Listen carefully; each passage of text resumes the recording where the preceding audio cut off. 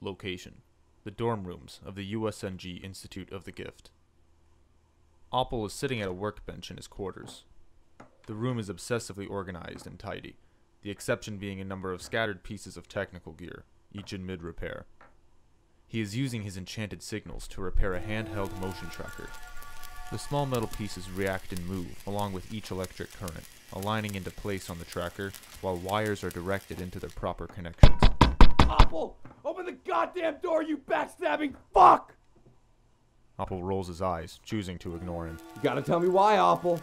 I gotta know why you decided to fuck up my plan, Ople. Is it to get back at me for calling you a lazy accountant in front of baby? Don't be a petty bitch, Ople! Ople continues his work in a very practiced method of acting as though Celtic weren't there. Listen, bud, I just want to talk. Eh, get your side of the story, you know? I'm sure your big, smart, creepy brain has a super good reason for ruining our graduation. You know, bud? I could easily break down this fucking door. In fact, I'm increasing my density right now. Getting real dense, Ople. Real dense. And you wouldn't want another repair on your hands, would you? it's not like we can fucking afford it, Ople! Ople hits a button on his holophone, opening the door. Okay, Celtic. Now it's. Ah! Celtic promptly throws a table from the mess hall at Ople. The table crashes into the desk, breaking one of its legs and spilling its contents onto the floor. Prime Zal, Celtic! What the hell? Oh, I'm sorry, Ople. Did I wreck something you worked really hard on? Feels pretty shitty, don't it, Ople? At least what I did isn't gonna cost us our graduation, Ople. Celtic, you don't understand. I, I, wait, wait, dude, even so, don't act like I crushed your hopes and dreams or anything. You never gave a shit about doing well at this school. Well, your comment about going back home really reminded me, Ople. I've got a pretty great reputation back home on Terrestria. If I don't graduate, I'd be letting a lot of people down that really look up to me. Right. Well, you won't have to worry about your reputation, Celtic. I got us the money. Ah, shit. Fuck yeah, Ople. You finally came through for once. Who'd you scam it from? I didn't scam it from anyone, Celtic. I called your mother. Celtic freezes as the blood rushes from his face. Ople? What the fuck? What? Dude, don't let your pride keep you from asking her for help.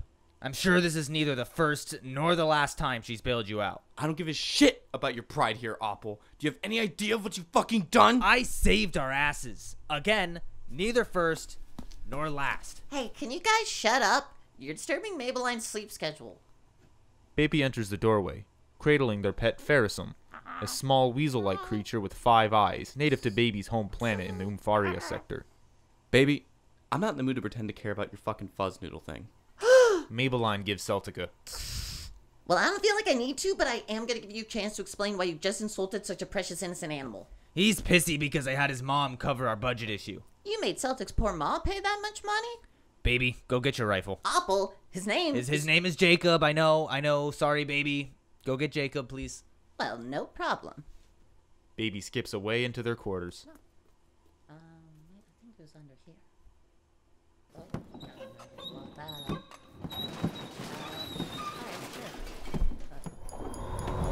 Fuck, I can't wait to get out of here and get on a real squad. I'll finally be with people who respect me. Well, I doubt your conclusion. I do share your sentiment. Once I'm rid of you, I'll finally be with people who won't stand in my way. He can come back in a block, but he can't go out of bounds and come back in and receive. Watch, he got bumped. You know, the thing is, he did go out of bounds, but that was an illegal bump. Okay. Uh, there it is. No. Ah, Jacob. Baby trots back into the room, holding Jacob, their large bolt action sniper rifle, measuring almost as long as Baby's height. Here he is. Thanks, baby. Could you look under the bolt and read the name on him for me? Oh yeah, it says Celtic. That's because Jacob was brought to you by the Celtic family. In fact, specifically his mom. Oh, I always thought Celtic just carved his name on Jacob to be a dick to me. Wow, I didn't know your mom owned Jacob before me. N- n- no, baby. Celtic's mom's company produced that gun. They produce most of our guns. They're the largest weapons manufacturer in the Empire. Our budget was pocket change to her. Celtic, you bastard! You, you've been rich this whole time, and you've never gotten me or Mabeline anything for our birthdays. I wouldn't care if you ripped that bitch off for a fortune, Ople. You don't understand her. Well, I understand you owe her a lot of thanks for this. And probably an apology for having to raise you. You'll get an opportunity at graduation. She said she's coming. Prime Zal, graduation! I gotta start planning my presentation! Baby storms off back into the room. Don't worry, baby. It's gonna be great. Okay, Celtic, really. Ople watches Celtic quietly walk to his room, his head hung, staring at the floor. Freak. Location Rebel Moon Base storage block. Still in shock, Mesa's eyes follow the blood rolling down his visor to the floor, where McGraw lay dead at Angus's feet. C C Commander? Angus lines a shotgun up to Mesa's chest. Sorry, kid. We're only doing business. Angus, wh- wh- why? Prince steps from behind a crate. Commander! What's going on? He stops at the vicious scene.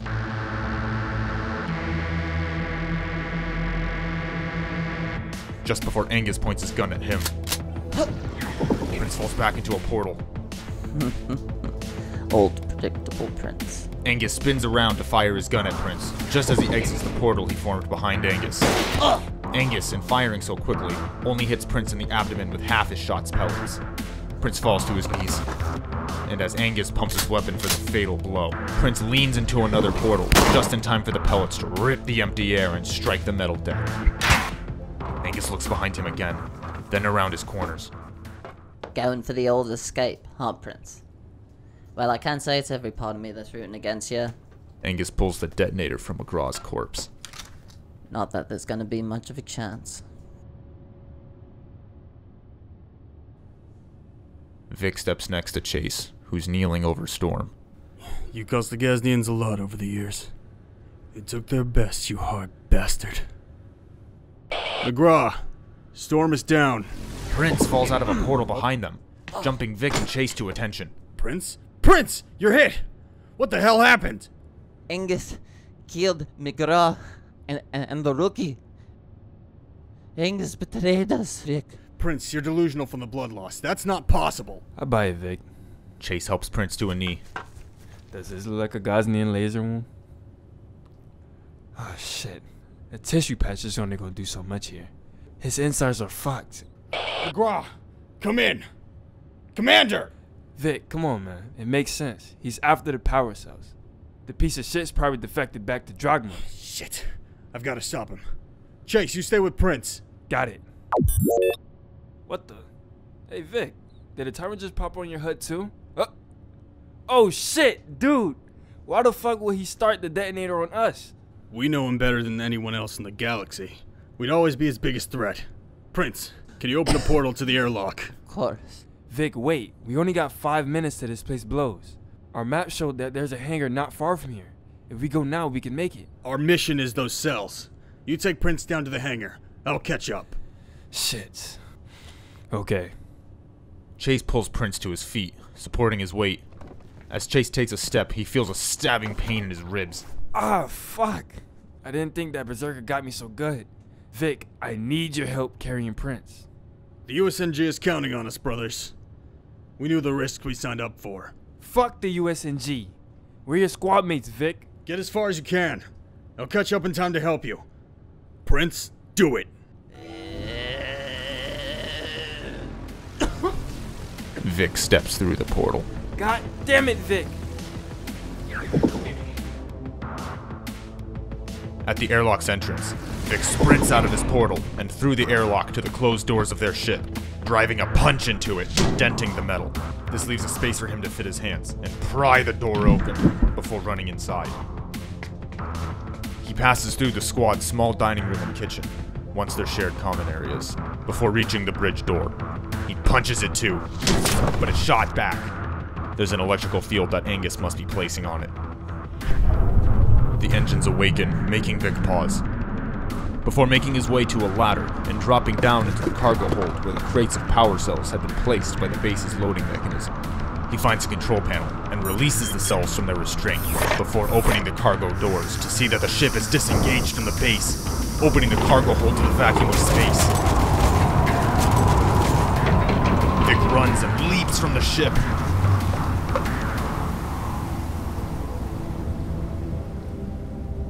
His momentum carries him toward the base, and into the loading room. He looks back to watch his ship flying away. The power cells drift out of the cargo hold just before it jumps to hyperspace. Vic gets back to his feet and makes his way into the base as the loading door closes, sealing him back inside. Chase, holding up Prince, is slowly making his way down a hallway, wincing with every step. Jeez. Just throw. Just throw me. Go! No way, man. No way in hell. You're gonna be fine. Don't sweat nothing. Brothers, the cells are safe. Oh, thank Prime's out. The cells are safe. Can you fucking take Prince now? Vic effortlessly puts Prince over his shoulder as the remaining members of Omega Squad make their way through the hall and into the fighter hangar. I'll get Prince settled in one of the fighters. Get the hangar door open, Chase. Got it. Vic opens one of the two seated fighters and gently places Prince into the back seat. Watch the armor, Vic. It, it, it's already going to be expensive to fix. Of course. Sorry, old friend.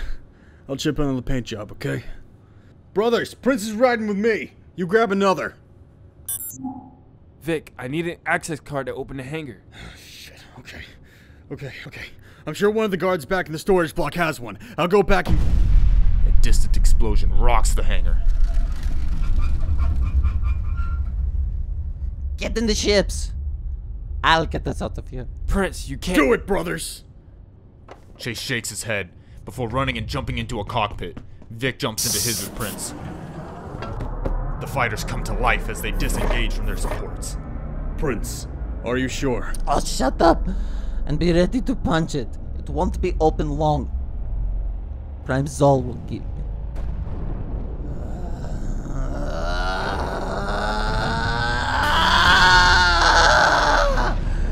Prince opens a large portal to just outside the base. Gun it, brothers! The fighters race toward the portal as the explosions reach the hangar, flooding it with fire that claws to within an inch of Vic's tail wing, just as the squad mates pass into space. As the base is ripped apart in one last detonation. Shrapnel and debris rocket past them.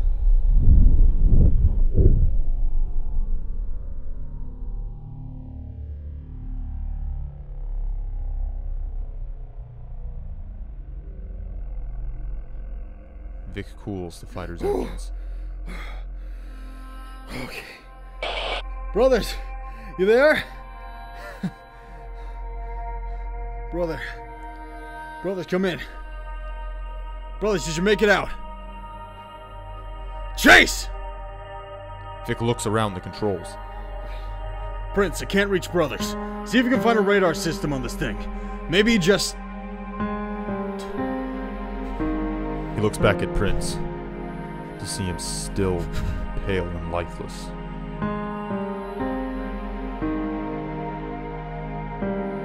Vic looks through his windows to search for Chase's fighter, but finds only empty space.